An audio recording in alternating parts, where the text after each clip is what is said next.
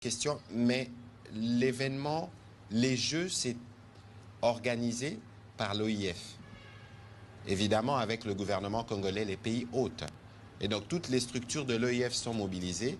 Il va de soi que la secrétaire générale de l'OIF puisse être, comme co-organisatrice, présente à Kinshasa pour l'événement qui est tant attendu. Peut-être que le directeur peut me compléter un peu, mais voilà. Euh, donc, euh, si vous voulez la réponse, elle sera là parce que c'est elle qui co-organise avec le gouvernement de la République démocratique du Congo. Oui, comme a dit Son Excellence, Monsieur le ministre des Communications, bien évidemment, ce sont, comme on l'a dit, les Jeux de la francophonie. Ils sont organisés par la francophonie en collaboration avec les pays hôtes.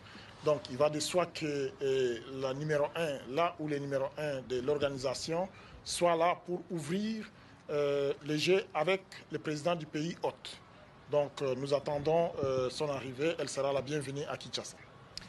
Voilà, sur la question de Kwamut, monsieur